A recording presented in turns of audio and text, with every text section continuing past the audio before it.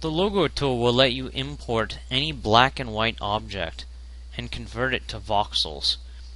You can convert images that are bitmap, targa, JPEG, and PNG formats. So let's click on the logo tool and let's select our little logo image here. It's nothing fancy, so go ahead and laugh. okay, so as soon as you import it, it will bring you in with a merge tool so you can use the standard merge gizmo here. You can scale things up and down. You can translate on channels. And you can rotate. I'm going to scale the thickness down a little bit.